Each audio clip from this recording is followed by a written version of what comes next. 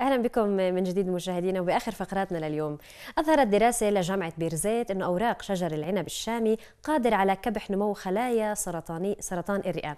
هذا الموضوع صار أمل لكثير من الأشخاص المصابين بسرطان الرئة خاصة إنه هناك آه، أمل كمان لتحضير دواء ممكن إنه يساعد في كف في كبح مرض السرطان. نتحدث عن هاي الدراسة وأهميتها مع الدكتور جميل حرب معد الدراسة وأستاذ علم النبات في كلية العلوم بجامعة بيرزيت. يسعد صباحك. صباح الخير يعطيك العافية. الله يعافيك. آه، قبل أربع سنوات قمت أنت والطلاب ب آه، يعني مجموعة من الطلاب بإعداد دراسة آه، حول آه، كبح خلينا نحكي أو الوقاية من آه، سرطان الرئة من خلال النبات. لو تحدثنا أكثر عن هذا الموضوع. الدراسة بدأت عمليا قبل ست سنوات بتمويل من جامعة بيرزيت. التمويل الأول كان جامعة بيرزيت لجنة البحث العلمي. الهدف هو بالأساس أنه تقييم الفائدة الغذائية لأوراق العنب. فأخذنا نوعين من أنواع العنب. هو العنب الشامي والبيتوني من منطقتين من بيتومر الجنوب من الظهرية. آه، فحصناه ضد بعض أنواع البكتيريا الضارة زائد سرطان الرئة. النتيجة الاهم طلعت عنا إنه العنب الشامي من بيت تمار آه، قادر على كبح اللي هي الخلايا السرطانية لسرطان الرئة. المغزى الأساسي هنا اللي هي قضية وقائية بمعنى آخر استهلاك آه، جيد أو عالي لأوراق العنب. يؤدي لإفادة صحية للمستهلك وبننصح فيه كثير أنه يتم استهلاكها بشكل جيد. القضية على دواء أو علاج لسه بكير للغاية ربما بعد سنوات طويلة نصل لهي المرحلة نتأمل ذلك ولكن بحاجة لشغل مكثف زائد تمويل قوي حتى نصل لهيك مرحلة. آه اختياركم لل يعني قلت العنب البيتوني والشامي آه يعني قبل من خلال الدراسة يعني استكشفت إنه هدول النوعين هم ال... يعني خلينا نحكي بيعطوا نتيجة كثير منيحة للوقاية من مرض لا ما كان عندنا معطيات ما آه. كان عندنا كيف أي... كيف اخترتوهم يعني؟ ما كان عندنا معطيات لكن إحنا سألنا إنه المستهلكين بيستهلكوا فالبيتوني المرغوب عند المستهلك والشامي غير مرغوب يعني يستهلك لكن غير مرغوب كثير فأخذنا هاي المقارنة. آه، زائد إحنا لنا علاقة بقضية الأمراض النباتية مدى حساسيتهم لبعض الأمراض البياض الدقيقي بالتحديد. حاليا انتقلنا السنة الماضية لدراسة 12 نوع آخر من الأنواع العنب اللي هي بتغطي التشكيل الواسع الأهم في منطقة الجنوب الخليل. أه نتأمل أنه النتائج خلال السنين القادمة تعطينا معطيات عن أنواع أخرى. بس وضح لنا أنه الشامي واضح هذا من البنية الوراثية لو درسنا البنية الوراثية لو عزلنا الجينات عرفنا إيش الجينات المسؤولة عزلنا المواد الكيماوية الفعالة الطبيعية المقصود هنا اللي مفيدة للصحة. عزلناها وحددناها ولكن شغل مستمر يعني بتطلب لسه مدى طويل حتى آه، نحصل على معطيات ممكن تفيد كعلاج آه، بالنسبة ل أسباب آه، هاي التجربة والإعداد لها وأهدافها السبب الأساسي كانت ملاحظة اللي كنت في ألمانيا قبل ست سنوات لاحظت إنهم بيبيعوا بالصيدليات أدوية كثيرة آه، من مستخلصات النباتات. يعني بيحاولوا إنهم يبعدوا عن الأدوية الكيماوية ما بيبعدوا عنها كليا. فكان أحد الأدوية اللي اشتريتها لإلي ذاتيا اللي هي دواء مستخلص من أوراق العنب لتوسيع الشرايين الرجل. فواضح إنه هذا له فعالية. ففكرنا إنه نستعمل العنب لأنه العنب عندنا قديم للغاية من آلاف السنين مزروع مستوطن في البلد متأقلم كثير للبلد للجفاف بالتحديد. معروف علميا اللي بتأقلم للجفاف بتكون في مواد فعالة للصحة. فكانت هذه البداية. آه، تعاوننا مع جامعة ميونخ التقنية. تعاوننا مع معهد في برلين. آه، وحتى الآن نتعاون معهم. وهذا هو المميزه كمان إنه بعثنا طلاب هناك. آه، طلاب كثير شاركوا في جامعة بيرزيت في هذا البحث. والعمل الطلابي كثير مردود وجيد إلنا وللطلاب كمان. قمتوا بتجربة على نوعين من يعني الخلايا السليمة خلينا نحكي الخلايا السرطانية. وبعديها يعني وديتوها على معهد ماكس. لو تحدثنا أكثر عن هاي التجربة وكيف كانت؟ هي اللي بدنا نفحص دائما لازم يكون عندنا مرجعية مشان نقيس عليها فكان هي الخلايا السليمة. الخلايا السرطانية اللي هي المعاملة الثانية. وضح إنه الخلايا السرطانية عددها بقل آه، تزايدها بمعنى آخر. بقل كثير مع استعمال العنب الشامي. آه، لاحقا كبحث علمي لابد من رؤية إيش السبب وراء ذلك فبتم استخلاصها بمذيبات عضوية. المستخلص آه، عزلها آه، عن بعضها البعض وبعدين فحصها بطرق تحليل كيميائي معقدة مش موجودة في بلادنا. ولذا عملنا هذا البحث طوال سنة كاملة في برلين في معهد ماكس بلانك.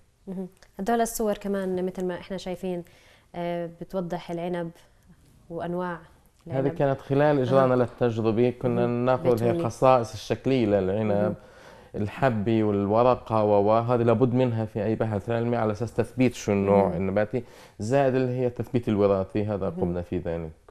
لطيف. أبرز التحديات اللي واجهتوها في أثناء الدراسة؟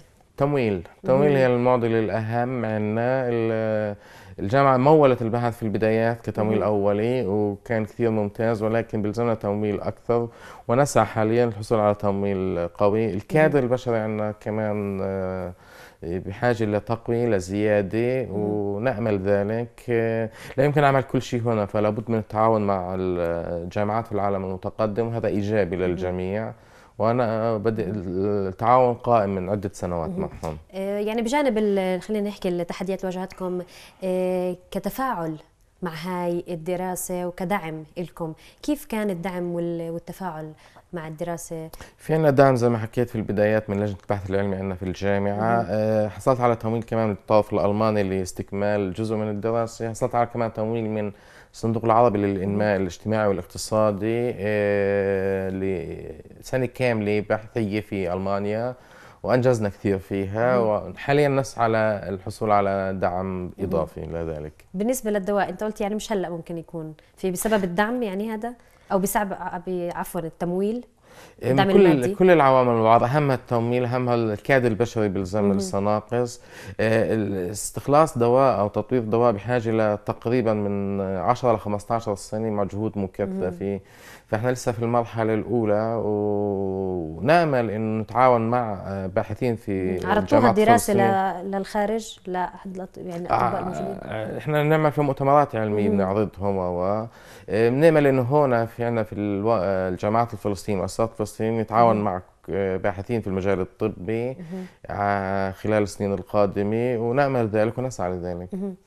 أكيد يعني هي خطوة كثير مهمة زائد إنها آه، بتعطي أمل لكثير ناس بيعانوا من مرض السرطان إنه يكون في دواء شوي بخفف أو بيكبح آه، المرض نفسه. رح آجي يعني على المستوى الشخصي أهمية هاي الدراسة على المستوى الشخصي لك كأستاذ. كمان يعني على المستوى العام. أهميتها. المستوى الشخصي يعني من البحث العلمي دائما آه، مضني ولكن ممتع للغاية ف منيح الواحد يشتغل في هذا المجال. منيح أنا شايفه الزاوية الأهم هي للطلاب. الطلابنا كثير آه، جزء منهم نحكي له الجزء الأفضل بندمجوا في هاي الأبحاث بيسافروا وبتعرضوا للبحث. البحث لأنه له تحدياته في البداية الواحد ما بيعرفها فهم بيعرفوها. وجزء منهم آه، كمل واستكمل الدراسات العليا في الخارج وهذا إيجابي للغاية. المستوى العام إنه هذا جزء من رسالتنا كتربويين كأكاديميين في آه، الجامعات الفلسطينية.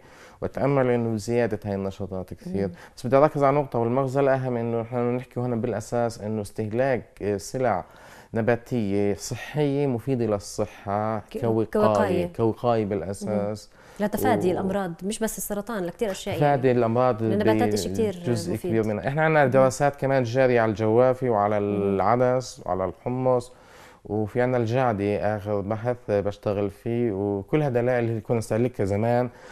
وللأسف السنين الماضية قل استهلاكها في فلسطين ولكن يجب العودة لها لانها كثير مفيدة, مفيدة. للصحة. التوصيات الأخيرة بتحب توجهها بخصوص الدراسة؟ توصيات أنه لابد من البحث التنوع الحيوي بفلسطين هائل بمعنى عندنا تقريبا أكثر من 2500 نوع نباتي مختلف عن بعضهم البعض.